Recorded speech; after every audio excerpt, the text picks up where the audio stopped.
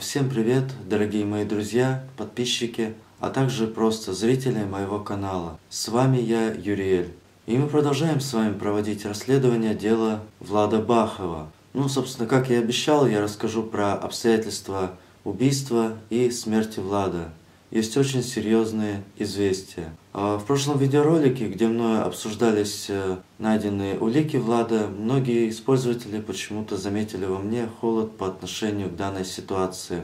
Но не думайте, что я такой бесчувственный. Я в свое время также пережил одну ужасную трагедию, с которой в общем, я не могу ужиться или, как еще говорят, смириться. Весной 2012 года не стало моей любимой девушки Тани, с которой я учился в одном классе. А у нее было трехкамерное сердце, это такой э, тяжелый и, в общем-то, довольно редкий порог. Но Танюшке не стало больше из-за осложнений. То есть она заболела простудой, ей ни в коем случае нельзя было простывать. Ну и, соответственно, организм не справился с нагрузкой. Ну, собственно, мама вызвала скорую, и девочке стало хуже. Ну и врачи приехали, как у нас в России обычно это происходит. Им лишь оставалось констатировать смерть моей любимой девчонки.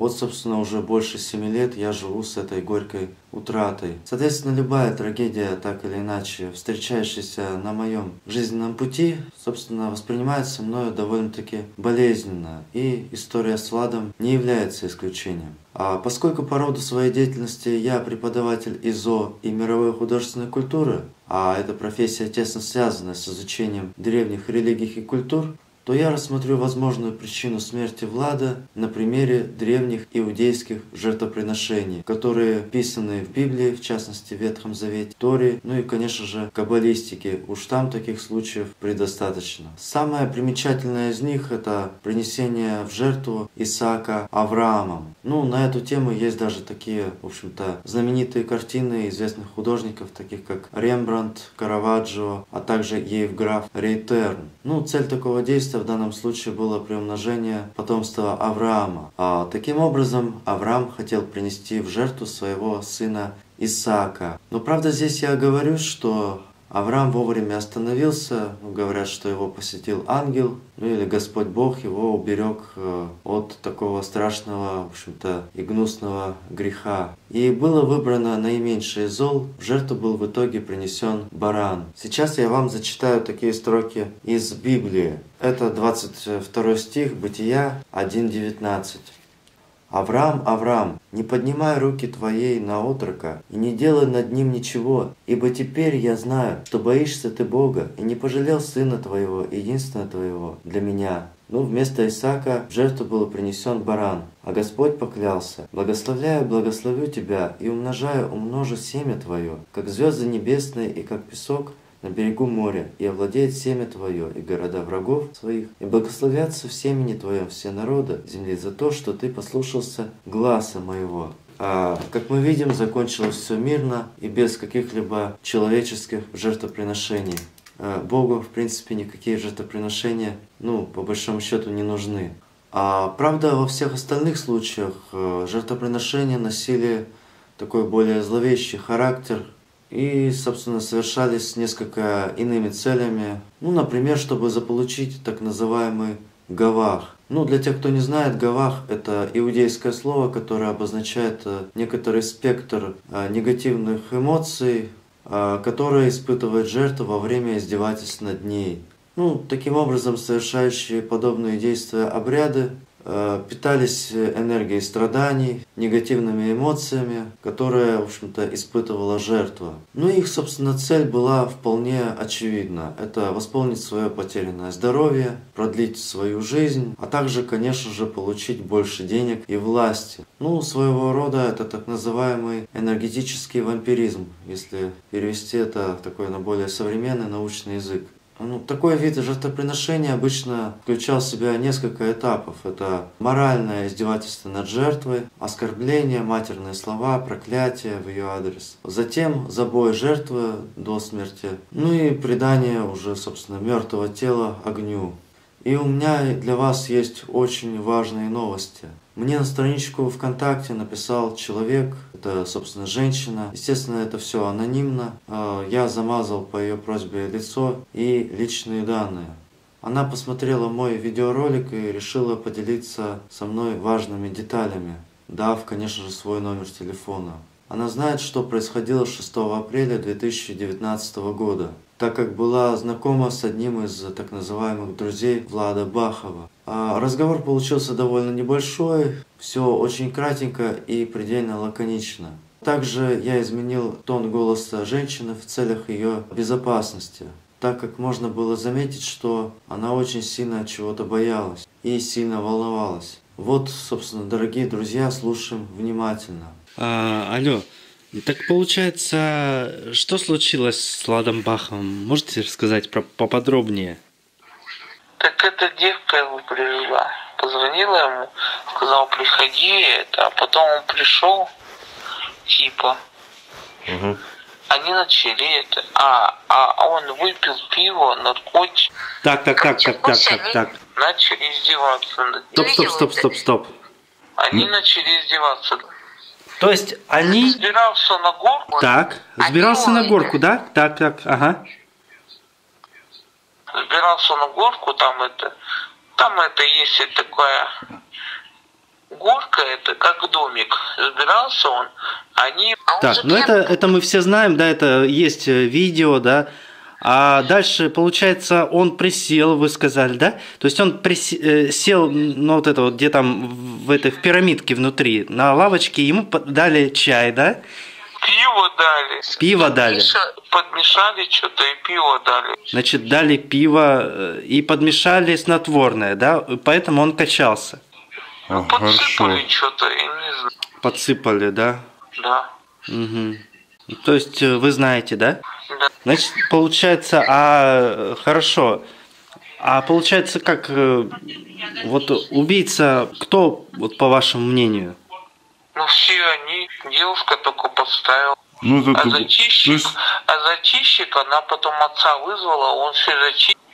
Друзья все грохнули. Все, все друзья. То есть все, которые вот э, непосредственно 12, значит, этих да, да, да. Отец ее приехал, угу. труп убрал ее, труп убрал и кости убрал куда-то. Все за так. вопрос. Наверное, туда зачем. И только остатки показывают это эти. Ну, кроссовки его это, а куртку кто-то, один свидетель, один свидетель сказал, кто-то подкинул как они искали, куртку не заметили. Угу. Куртку подкинул сам. А, Виктория, то есть получается его сначала напоили вот пивом, подмешали туда наркотики, а, значит, а, снотворное вещество, то есть, ну, по сути, наркотик. И он начал качаться, да? И потом его, это, он вот умер, и его сожгли. Они издевались над ним. А, издевались. И потом уже сожгли его тело, да? Ну, конечно, убили. Все так, отлично. Вот. Хорошая зацепка. Спасибо огромное, что вы помогли нам. Информация действительно оказалась полезной и поможет расследованию. Естественно, я это все сделаю анонимно, то есть вашу фамилию не буду указывать. Все будет хорошо. Так, ну получается, ну ладно, всего доброго вам тогда. Это, здоровья вам. Спасибо большое за информацию, очень полезная действительно была. Пожалуйста. А теперь давайте, дорогие друзья, сверим все то, что я рассказал перед разговором с женщиной. Как мы видим из той злосчастной видеозаписи, все эти изверги и лишь один Влад нетрезвый.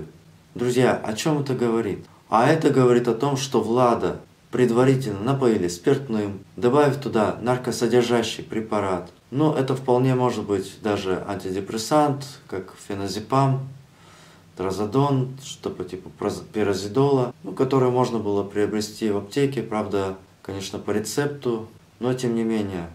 А поскольку, в принципе, родители этой банды, в общем-то, были высокопоставленными э, чиновниками, то, в принципе, сделать они могли вполне и без рецепта.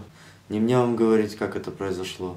Вы знаете. Ну, потом, конечно же, Жумаев, э, один из членов банды, отнял у Влада мобильный телефон, так как парнишка хотел позвать свою бабушку на помощь, на что получил ответ, что тебя бабушка в психушку сдаст, как мы слышим тоже из видеоролика. Ну и затем, конечно, заставили взбираться на эту пирамиду-беседку предварительно, выкрикивая нецензурные слова в его адрес. Ну, затем уже за кадром Влад Бахов падает, получает очень такие серьезные травмы, скорее всего, несовместимые с жизнью. Эти 12 членов преступной банды его избивают до смерти, предварительно, собственно, поджигая его тело, тем самым совершая осквернение над ним. Вот так, дорогие друзья, история древности, в общем-то, повторяется. И не думайте, пожалуйста, что это все забыто, никакая это не фантастика.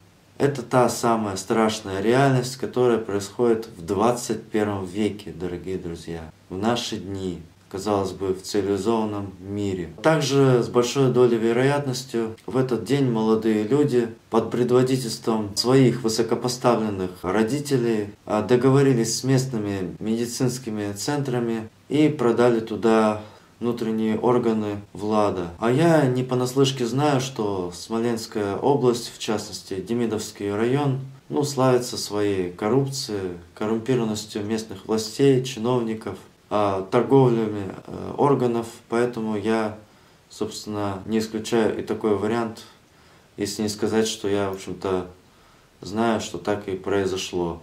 А, бьюсь об заклад, что они совершили так называемый акт каннибализма, ну, который, собственно, является своего рода вишенкой на торте данного черного действия, которое я описал ранее. Затем уже изуродованные останки закопали в земле.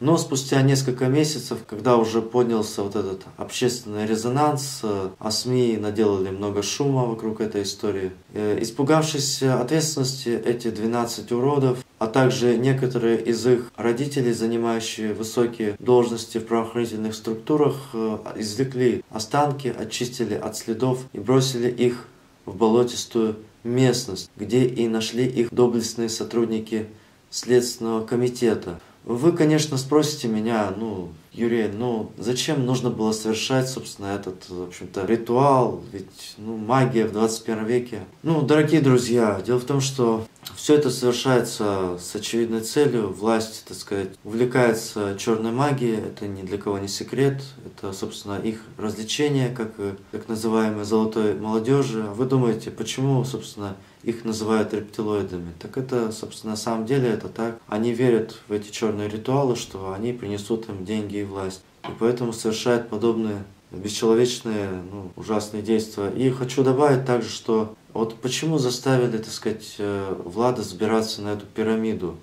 А все потому, что в древности был такой обряд, что действительно рабов приносили на гору, так сказать, э, наверх. Это также и у иудеев было распространено, и у индейцев майя, кстати.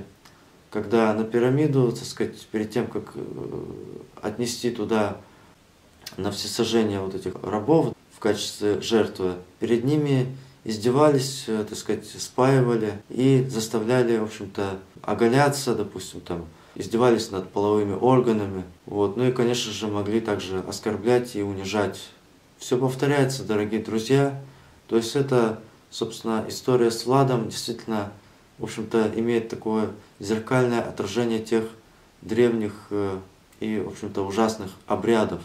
Ну, таким образом, мы видим, что все сходится, Влад Бахов был не просто убит по причине банальной такой бытовой ссоры, как э, некоторые, так сказать, сотрудники полиции пытаются это преподнести. Это убийство было, в общем-то, по предварительному сговору, организованной преступной группой с особой жестокостью, причем заранее запланированная с целью последующего изъятия внутренних органов Владика.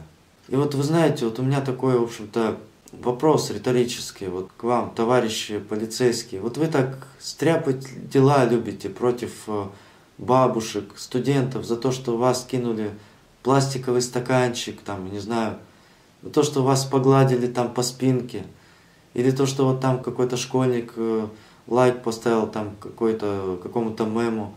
Вы с легкостью стряпаете дела, как, как будто это, вот, знаете, особо опасные преступники – но перед вами, вот знаете, вот я раскрыл преступление, да, мы с женщиной знаем э, что, собственно, произошло там. Я проанализировал эту ситуацию. Вот тут улик и доказательств хоть отбавляй. Но возьмитесь за это дело. Почему преступники до сих пор на свободе? Почему не понесли наказание? Ну, остается надеяться, что московское следствие прислушается к адекватным выводам, то есть моим, чтобы все эти 12 преступников, а возможно и больше, будут жестко наказаны. Ну а я эти материалы передам в ближайшее время в Следственный комитет и прокуратуру. Попытаюсь, по крайней мере. Я надеюсь, они займутся этим вопросом. И надеюсь, э, этому делу будет э, конец. Спасибо всем неравнодушным. Пишите в комментариях, какие мысли у вас на этот счет. Следите за событиями. Также, дорогие друзья, не забывайте подписаться на мою группу ВКонтакте «Здравомыслие». Это мною созданное в 2018 году движение, где мною поднимаются наиболее острые социальные проблемы и ставятся задачи по их решению. Также подпишитесь на группу, посвященную поискам Влада Бахова. Там очень хороший и дружественный контингент, который будет рад каждому неравнодушному человеку, который бы хотел помочь поисков парня. Ссылочку, конечно, я оставлю в описании. Ну а мы с вами увидимся в следующем видеоролике. До встречи!